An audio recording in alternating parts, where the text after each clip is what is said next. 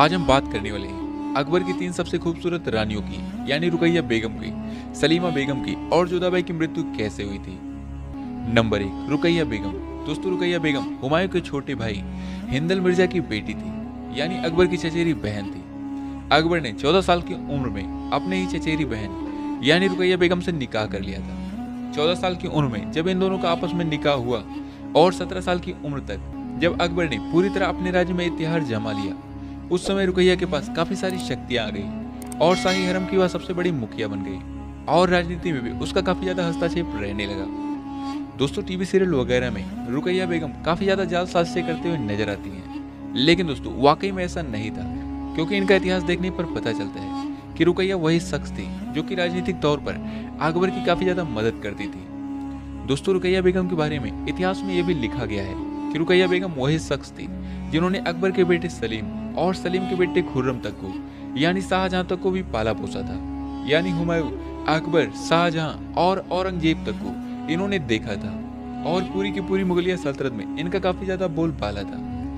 क्योंकि अकबर की मृत्यु के 20 साल बाद, यानी 1626 में इनकी मृत्यु हुई थी। यानी आप एक कह सकते हैं कि अकबर की मृत्यु के 20 साल बाद तक, रुकैया बेगम का मुगल सल्तनत में काफ़ी ज़्यादा बोल पाला था। और उस समय मुगल सल्तनत में किसी भी प्रकार का कोई मतभेद नहीं था। नंबर दो, शलीमा बेगम। दोस्तों, सलीमा बेगम का जन्म तेईस फरवरी पंद्रह को कन्नौज में हुआ था। सलीमा बेगम के पिता का नाम नूरुद्दीन मोहम्मद मिर्ज़ा और माता का नाम गुलरुख बेगम था, जो कि अकबर की चाची थी। नूरुद्दीन मोहम्मद मिर्ज़ा का अधिपत कन्नौज के आसपास के क्षेत्रों पर था। नूरुद्दीन मोहम्मद मिर्ज़ा की बेटी सलीमा बेगम अकबर से साढ़े तीन साल बड़ी थी और वह रिश्ते में अकबर की चचेरी बहन भी लगती थी। लेकिन इतिहास में ऐसा देखने को मिलता है कि सलीमा बेगम का विवाह सबसे पहले बैरम खान से हुआ था। वही बैरम खान जिसने अकबर को राज गद्दी पर बैठाया था। बैरम खान सलीमा बेगम से उम्र में लगभग चालीस साल बड़े थे। लेकिन बैरम खान की मृत्यु के बाद सलीमा बेगम काफ़ी ज़्यादा परेशानियों में रहने लगी थी। और ऐसे में मुगलिया सल्तनत में भी उनके साथ काफ़ी ज़्यादा भेदभाव किया जाने लगा था। लेकिन जब ये बात अकबर को पता चली कि सलीमा बेगम काफ़ी ज़्यादा परेशानियों में है तो अकबर उन्हें शाही संदेश भेजकर आगरा बुलवा लेते हैं और उनसे निकाह कर लेते हैं। जिसके बाद सलीमा बेगम सामाजिक रूप से अकबर की दूसरी पत्नी बन जाती है। अकबर ने सलीमा बेगम से निकाह इसलिए किया ताकि उन्हें और उनके बेटे रहीम को एक शाही परिवेश मिल सके।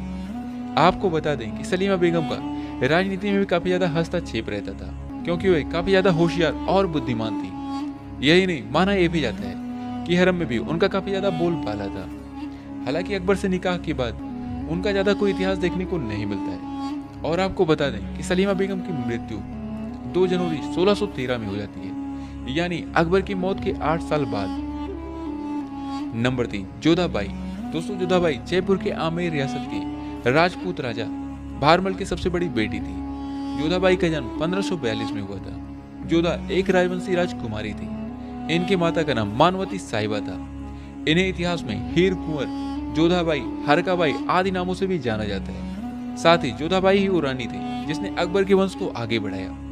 जोधा अकबर की तीसरी पत्नी और उसके तीन प्रमुख मल्लिकाओं में से एक थी। अकबर अपनी सभी रानियों में जोधाबाई से सबसे ज़्यादा प्रेम करते थे। लेकिन इतिहास में जोधा की मौत के संबंध में अधिक सबूत नहीं मिलते हैं। अनेक इतिहासकार कहते हैं कि जोधा की मृत्यु किसी बीमारी के चलते हुई थी। लेकिन कुछ इतिहासकारों का मानना है कि जोधा अपने बड़े बेटे सलीम के बुरा अत्याचारों से काफ़ी ज़्यादा दुखी हो गई थी। जब सलीम ने अकबर के खिलाफ बगावत कर दी थी, तब जोधाबाई इसे सदमे में चली गई थी और वो बीमार रहने लगी थी। और इससे उन्हें एक दिन दिल का दौरा पड़ा और उनकी मृत्यु 19 मई 1623 में आगरा में हो गई। मृत्यु के बाद सलीम ने जोधा की शव को अकबर की कब्र के नज़दीक दफन करा दिया था। इतिहासकार बताते हैं कि जोधा सलीम से काफ़ी ज़्यादा प्रेम करती थी। तो दोस्तों, मुझे लगता है कि अब आपको पता चल गया होगा कि अकबर की तीनों बेगमों की मृत्यु कैसे हुई थी। फ़िलहाल दोस्तों, यही खत्म होती है आज की हमारी वीडियो। फिर मिलेंगे किसी और वीडियो के